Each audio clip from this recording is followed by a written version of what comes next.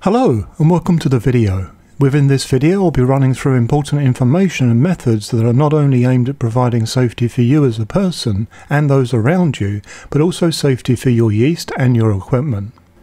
There are various different types of pressure fermentation vessels out there in the marketplace, and the most commonly sold ones are made of plastic, but naturally vessels are also sold in stainless steel construction. These units, irrespective of brand or construction, will work in the same way when it comes to pressure. Usually you will have a main body that is built to withstand pressure, a way of adding pressure, and usually two ways of actually removing it. It is the removal side that is of course the most important aspect from a safety perspective. There are various safety guidelines to follow in general that I will run through, but before I show you this visually, let me run through a general checklist first. Firstly, always be sure to follow the guidelines of the product as shown in the instructions. Please understand that when using pressure you really need to be sure that you set things up carefully and properly. Any vessel that can be put under pressure is deemed to be safe for use, but the human element can still present danger if you make some errors.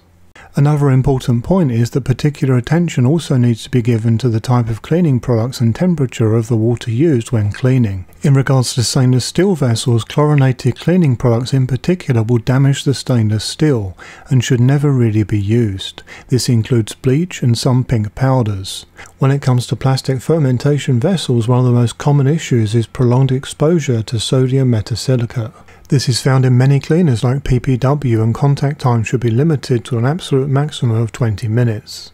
If you do decide to expose your plastic fermenter for longer than this then you will compromise the plastic and this of course will lead to issues. Let's now look at safety testing before use. Here is the KegLand Kegmenter. This is a pressure vessel that I use regularly for pressure fermentation that I will use to show testing. I run through these tests before adding anything that I wish to ferment under pressure and I strongly recommend that you do the same before each fermentation too. Whichever vessel you use, the single most important piece of safety equipment on your vessel is the pressure release valve.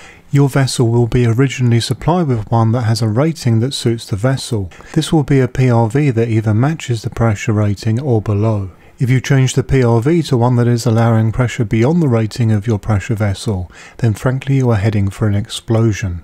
Do not be that homebrewer that blows up his pressure vessel and then tells everyone he did nothing wrong. It is your responsibility to ensure that you have the right PRV if you have removed the original one supplied. Next, remove the PRV from the lid and make sure that it and the section that it screws into is clean and clear of debris. Once you are satisfied that the PRV can operate unimpaired, then you can screw it back into your lid. I suggest that you take this step very seriously, because by using a clogged or blocked PRV, you run the risk of explosion. Again, this is your responsibility to yourself and those around you. Be sure to know that no pressure vessel is safe from this, plastic or stainless steel. These checks are vital for all. It is also vital to understand that the PRV is designed to be the last line of defence, and it is not a substitute for a spunding valve. When fermenting under pressure, always use a spunding valve. Manually removing pressure each day via the PRV is also not a smart practice. For the next test, you will need to add pressure into the vessel. Naturally, before you can do this, you will need to ensure that the top lid is attached correctly and securely, as well as any other parts on your vessel. I am adding pressure using a soda stream bottle and trigger system that is attached to a ball lock post which makes this very controlled. Add pressure until you hear the pressure release valve initiate. I have left the sound in the background so that you can hear mine. Eventually you will hear the vessel take the strain. This is normal, but it is an important sound to familiarise yourself with, and soon after this you will hear the PRV release excess pressure for safety. Congratulations, you have now checked your PRV properly and you are now using your vessel safely in the knowledge that it cannot explode. For the next step, add a spunding valve on top with a gauge and adjust to the level that you intend to use for your pressure fermentation. Leave this for a few hours with periodic checks to observe that you have not lost any pressure. If you have, then spray the areas where you could lose pressure with either soapy water or diluted sanitizer like Star San that foams. In the case of the Kegmenter, this will only be the lid itself, but on other fermentation vessels it could be other places too. Inspect each area and look for these areas that stand out. The soapy water or foaming sanitizer will show you these clearly.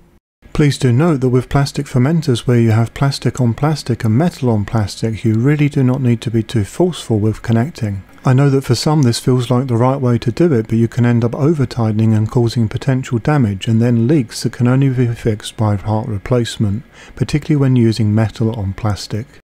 Once you have established that you have no leaks and that the vessel is holding pressure and that your spunding valve is set where you need it, then you can move on to the next step.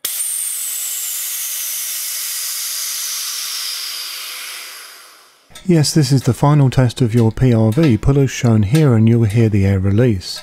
This is not just the sound of air though, this is also the sound of reassurance. As shown, do this several times to ensure that all pressure is now released, so that the lid is now safe for removal ready to accept your next brew. You have also now completed the testing needed for safe use of the equipment. For quick reference, here is a list of the steps in order. Some may wish to take a screenshot of this, at least for reference initially. You will soon get used to the pattern required here though. Furthermore, if you find yourself needing to move a plastic pressure vessel, then I also recommend that you release the pressure first. This will protect the product in case of accidents, knocks and bumps. Should you damage a plastic pressure vessel, then it is highly recommended that you perform a hydro pressure test to be sure that the vessel is still up to the task. Hydro tested is suggested by some manufacturers to be performed once every two years and kits are available for sale to make this easy. Let's now talk a little bit about yeast safety because frankly yeast is the star of the show and its health is paramount to the success of your end beer. It is important to understand that yeast in general would really rather not be under pressure at all. Do your yeast a favour and do not go overboard with pressure. Applying more and more pressure is not the name of the game here. The goal should be to simply find a pressure where your yeast is happy and you end up with an end beer that is nice and clean.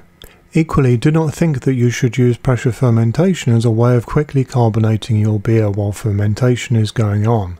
There is always time for that later. As with any fermentation, our primary concern should be with yeast health. When yeast is under pressure, you have an effect on its ability to produce esters and fusel alcohols, which, if this is part of your plan, is the upside. But on the downside, you are also inhibiting its viability and its growth. The more pressure you apply, the more you have an effect on these four areas. Another final key point in the direction of your pressure vessel is that by not using high pressure you are going to prolong the life of your pressure vessel itself. This particularly applies to pressure vessels made of plastic, but it also applies to stainless steel products also with their higher level of pressure tolerance. Naturally the most important thing to keep in mind here is that you should stay safe and keep brewing. If you have not joined already then consider joining this YouTube channel's Facebook group. We have over 8,000 friendly and helpful members of all experience levels. This now brings this video to a close. If you have any questions then please let me know via YouTube or Facebook. I do hope that you found this video to be useful, interesting and enjoyable. If appropriate then please like this video on YouTube and if you've not done so already then please subscribe. I regularly post new content. Happy brewing!